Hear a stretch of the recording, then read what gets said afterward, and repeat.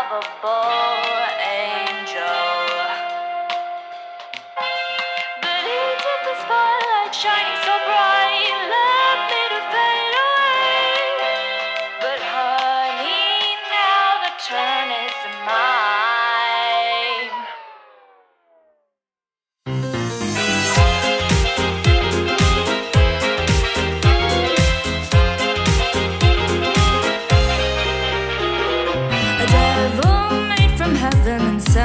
above.